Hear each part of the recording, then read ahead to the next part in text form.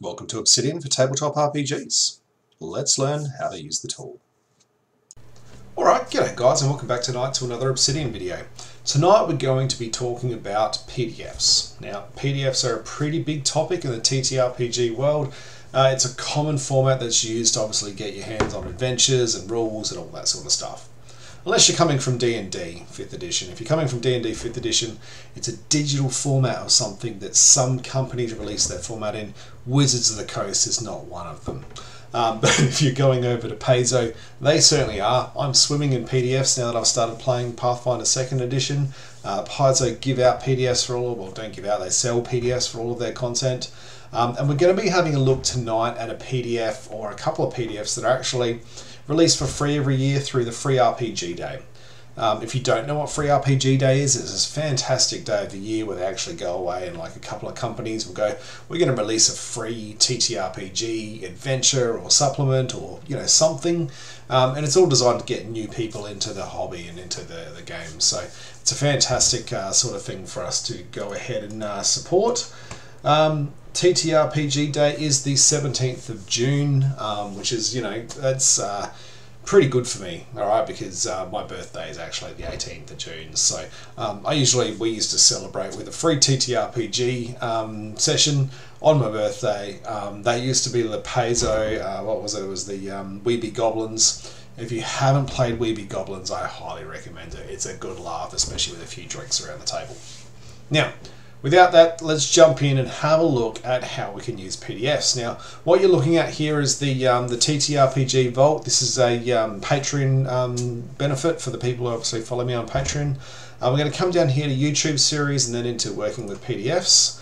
And you can see here that I've made a, uh, bit of an example file. Alright, so PDFs are relatively simple.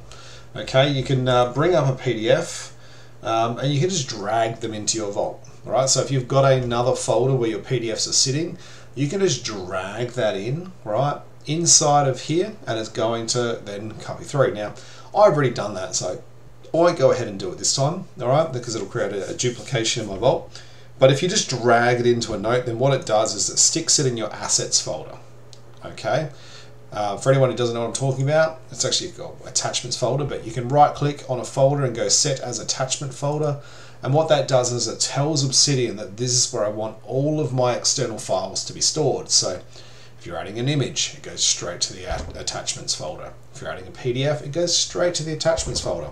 And as you can see here, I've added in three, all right, and they've gone straight to the attachments folder. Now, inside of Obsidian, you can see here, all right, it's basically coming straight through and showing me renders of these um, these adventures, which is fantastic. And these are all free adventures, by the way, guys. You can go and create yourself a Paizo account and you can go and get copies of these from their website. Now, in order to see PDFs, there is something we need to do. So come here to settings. Actually, I don't know if this is necessary anymore, but I'm going to do it anyway. Files and links and detect all file extensions. You can see I've got that turned on. That allows me to see the type of file extensions that obviously we're going to use in our Vault today. Alright, so once we've got that come through, actually let's just have a look at excluded files. I've never even looked into here. Now we can actually exclude files from coming through. Interesting, I might play with that later. But let's just focus. So we've got detect all file extensions enabled, getting out of there. Alright, now we're back and we can see obviously that, you know, we can now see the images, we can now see the PDFs. Uh, let's just have a little bit of explore, like what does a PDF look like? So we've got the uh, page by page view, Alright, it's quite easy to click. You can see it's quite quick. You can highlight, uh, which means you can copy, I imagine. Let's just test that. Yep, you can copy.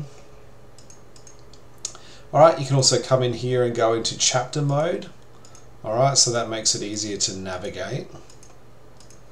Alright, so that makes it quite quite easy. You've got your your zoom, You've got your uh, your page count. What's this one do? Fit to page. There we go. Rotate anti-clockwise. We're not going to do that. You can download or print. And there's also a two-page view. All right, that could be quite handy. Um, there is an option to turn annotations here on and off, and this will really depend on whether you've actually opened up the PDF externally in another program and added annotations. Uh, there are plugins that you can use to do this. Uh, there's also plugins for highlighter. I didn't find any really fantastic plugins though.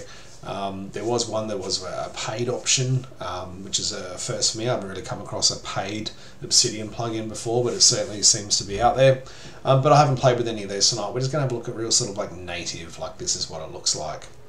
Alright, so as you can see, it's quite easy to sort of go through, but how do we make this useful, right? Because you could have your PDF on another screen, uh, opened in uh, Adobe Reader or something, or whatever your PDF viewer is, and that would be fine, right? So you could just do that. So what benefit do you have inside of Obsidian? Alright, so this is how we can use it. Alright, so you can link to a PDF, just like you do with a normal sort of uh, page. And I think I'm missing the PDF here. Alright, so you can link in here and say this is what this looks like. This is, uh, I want to link to a PDF. Now anyone who's familiar with Obsidian will go, oh, I recognize that format because that's how you link to a normal note or an image, right? So this is saying I want to provide a link to this PDF file this is saying I want to link to this PDF file, but I want to include a, uh, a preview of that inside of my notes. It'll actually render the page. And then here, this is where it starts to get cool. So here we're saying we want to link to this PDF file, but we want to link specifically to page 5. Now that is where I think it's starting to get interesting. So if we combine all that information together here, what we have is we have a, I want to link to the uh, Little Trouble in Big Absalom um, PDF file. All right, we want to render it because we have the exclamation mark at the start, but we also want to skip straight to page five. Now I'm in edit mode here. All right, if we go into the render mode or the uh, the read mode, we can see that that renders that. All right, and goes straight to page five. Now, for anyone who's just new to this, just so you know, like these little uh, ticks here, these basically mean this is code and it's actually saying don't use this. This is just for you to understand what this looks like when you read it. Please don't add those in. You should remove those when you're using that code. And as you can see, I don't have them here, so therefore it renders straight away.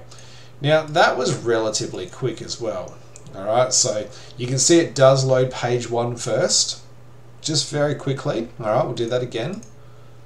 Come back in, see page one and then it skips to the page that it's been defined. But that works really quite well. Then you could read this through. So this would be a really good way for I guess anyone who does this a lot um, to avoid the data entry of putting an adventure or a module in okay? Because you've got the text here. Um, in this case Paizo like they give us fantastic PDFs like you can go and purchase them from the website. Um, you don't necessarily have to transcribe word for word every adventure into your um, your campaign manager if you don't want to. Now, obviously, I'm the sort of guy who does, right? I, I transcribe the whole damn thing into Obsidian and I run it from there. And then what I do is I replace all of these with stat blocks and encounter blocks and I make changes and I link to uh, magic items and all that sort of stuff. But you don't have to do that. This might be a much quicker way for people to go, you know what, I want to run this adventure. I'm going to just stick it inside of my vault. I'm going to link to it. And then what you can do is you can use this to go, all right, well, this chapter is related to this chapter in the PDF or this page in the PDF. So I'm just going to create a link here from whatever page I'm doing or from wherever I am and off we go. Now, keep in mind as well, you do not have to have the explanation mark and just so we can see the difference there. You can see it doesn't have an explanation mark now, so it's just rendering that as a link. And then obviously that is now displaying a, uh, a hover over, or we could click and go through to that as well. Now let's just do a test here, and live tests on videos always goes well. I'm just going to rename this. Alright, so see it says show to players. Alright, that's because I've written that. You could actually say um, little trouble page 5 okay and that will then rename to Little Trouble page 5 skip straight to page 5 off you go. The, the hover over probably isn't too useful for reading because obviously it's too small um, but you can obviously click on it and then have access to it and off you go. So that works really well. So you're going to leave that off for now. Let's just leave that off. Uh, rename to link. And then you guys can obviously use that in the example um, all right, so the other thing that I've actually got here is just a, an idea was with Dataview, um, obviously, you know, we've used Dataview before. You can use that to say, I want to display a list of these sort of things in my vault. Now you can do that as well with um, PDFs. So found this code here um, in one of the forums. So this is some Dataview JS code. And as you can see, um, if we go through and read this, it's getting the files where extension equals PDF. It's creating a list of those files um, and then creating a file path to them. So if we render that, what that does is that then converts uh, and automatically gives us a list of all the PDF files that are in my vault. So we can see here we've got a fistful of flowers, we've got threshold of knowledge, and we've got little trouble in big Ash Absalom. So they're all free PDFs, um, you know, that you can obviously go and get yourself. But you know, I can link to them all in my vault. Um, see how quick that was to actually create this automatic list of all these things that are in my vault which is fantastic. Now, we can go a bit further that further than that, sorry. So with DataView.js, we can actually come down and say, all right, show me a list of all the PDFs, but I want you to show me a list of the PDFs that are in a specific folder. So we come here and we have a look at this one. All right, so it's DataView.js query again. Um, it's a constant uh, get files and then filter that files on anything with PDFs and anything that's in this folder.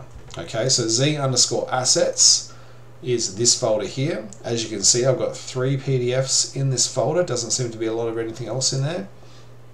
All right, and then what that does is that lists all the PDFs that are in that folder. So as you can see, this matches that. Okay, so it's just another useful thing. You could have a, um, a landing page with all of your PDFs, for example um, you know, that automatically populates and generates. And as you add more PDFs into this thing, it will just come through and list them here.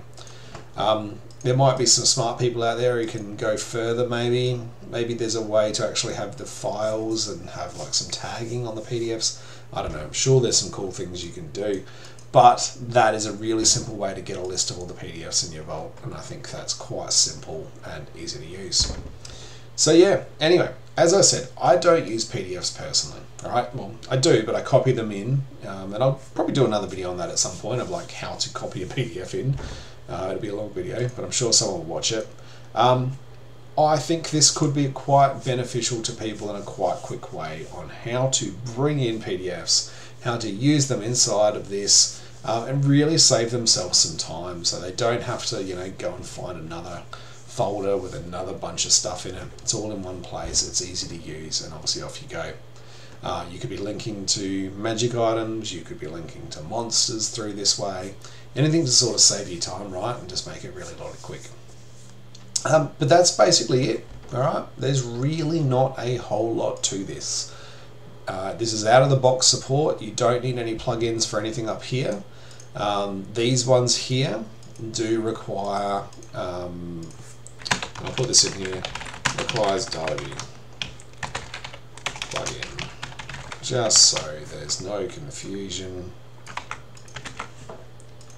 Alright, and then obviously this will be available to all my Patreon so you can go through and uh, use these notes yourself. Um, what I would recommend you do is copy these things into a template so you can just press like, for me it's Alt-T, trigger template, uh, insert PDF catalog, something like that I might call it, right, so that way it just comes through.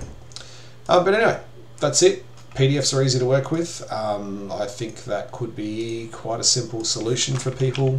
Um, could be quite useful. So anyway, if it is, please do like and subscribe. Um, if you do want to jump in with my patrons, please do feel free. I'll have links in the description below. It does give you access, obviously, to a Discord, which is where there's a lot of chatter happening on a daily basis about Obsidian. Uh, lots of people asking for help and getting help, and the community is really sort of pulling together and helping each other get through all of the learning curve that's associated with a tool that's really as big and complex as this one. And it gets you access to this vault, all right, with all of the tutorials and code that you can just cut and paste into your own notes and off you go. So anyway, guys, this has been working with PDFs. I hope that is useful. Have a fantastic day, and I will speak to you on the socials. Good night.